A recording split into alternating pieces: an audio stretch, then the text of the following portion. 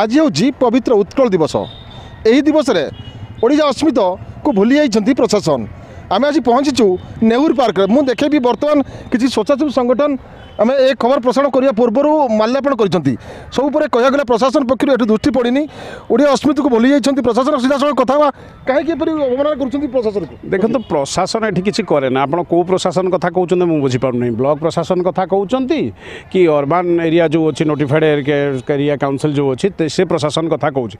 ଏଠି ପ୍ରଶାସନ କେବେ କରେ ନା? ମଧୁବାବୁ ଜୟନ୍ତୀ ହଉ ଏପ୍ରିଲ ପହିଲା ହଉ ଏଠି ଚାନ୍ଦବାଲିର ଆଜି ତାରିଖରେ ବି କିଛି ଇଣ୍ଟେଲେକ୍ଚୁଆଲ ଲୋକ ଅଛନ୍ତି। ସେମାନଙ୍କର ଭାବାବେଗ ଅଛି। ସେମାନେ ବ୍ୟକ୍ତିଗତ ଭାବରେ ଏଟାକୁ କରନ୍ତି ଏବଂ ଯେତେବେଳେ ମଧୁବାବୁ ଗୋପବନ୍ଧୁ ଫକୀରମୋହନଙ୍କ ଷ୍ଟାଚୁରେ ଗାର୍ଲାଣ୍ଡିଂ ହେଲା ସକାଳେ ସେତେବେଳେ ପାର୍କର ଗେଟ୍ ବନ୍ଦ ଥିଲା ତେଣୁ ଏଇଟା ହେଇପାରିନଥିଲା ଆମେ ଖବର ପାଇଲା ପରେ ବିଶିଷ୍ଟ ସମାଜସେବୀ ତାରାପଦ ବାବୁଙ୍କୁ ଆଣିକିରି ବର୍ତ୍ତମାନ ମାଲ୍ୟାର୍ପଣ କଲୁ ହଁ, ନିଶ୍ଚିତ ଭାବରେ ଯାହା ପ୍ରତିକ୍ରିୟା ରଖୁଥିଲେ ଖବର ପ୍ରସାରଣ ପରେ ନିଶ୍ଚିତ ଭାବରେ ଆସି ପହଞ୍ଚନ୍ତି କିନ୍ତୁ ପ୍ରଶାସନ ଏଠି ଏନ୍ଏସି ପ୍ରଶାସନ ରହିଛି।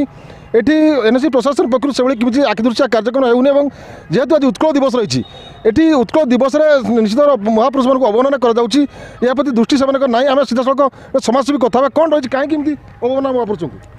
ଗୋଟେ କଥା କହିବାକୁ ଗଲେ ସତ କଥା ଯେଉଁଠି କାନ୍ତ କବିଙ୍କୁ କଣ୍ଠ କବି କୁହାଯାଉଛି ସେଠି ଓଡ଼ିଆର ଅସ୍ମିତା ମଧୁବାବୁ ଗୋପବନ୍ଧୁ ଆଙ୍କର ମୂଲ୍ୟାୟନ ବୋଧେ ଯେଉଁମାନେ ଓଡ଼ିଆର ଅସ୍ମିତା କଥା କହି ବଡ଼ ବଡ଼ ବାହାସ୍ପୋଟ ମାରୁଛନ୍ତି ସେମାନେ ବୋଧେ ଓଡ଼ିଆର ଅସ୍ମିତାର ତାଲିକା ଭିତରେ ଆମର ଓଡ଼ିଶା ପ୍ରଦେଶ ଗଠନର ଯିଏ ମହାନାୟକ ସେମାନଙ୍କୁ ଭୁଲି ଯାଇଛନ୍ତି। ଏବଂ ସର୍ବୋପରି ଆଜି ଏ ନେହେରୁ ପାର୍କରେ ଯାହା ଉପେନ୍ଦ୍ର ବାବୁ କହିଲେ ସେତେବେଳେ ଗେଟ୍ ବନ୍ଦ ଥିବାର ହେଇନି କିନ୍ତୁ ଯେଉଁମାନେ ମାତୃଭୂମିକି ଭଲ ପାଆନ୍ତି ରାଷ୍ଟ୍ରପ୍ରେମୀ।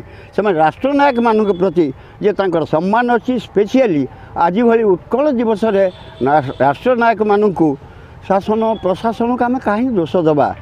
ସେମାନେ ତ ହେଲେ ନୌକରସାହୀ ମାଲିକର କଥା ସେମାନେ ମାନିବେ ହୁଏତ ମାଲିକ କହିନଥିବେ।